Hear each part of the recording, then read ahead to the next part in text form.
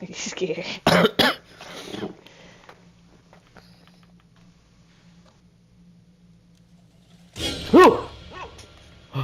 Bro, what? I got scared of my own reflection.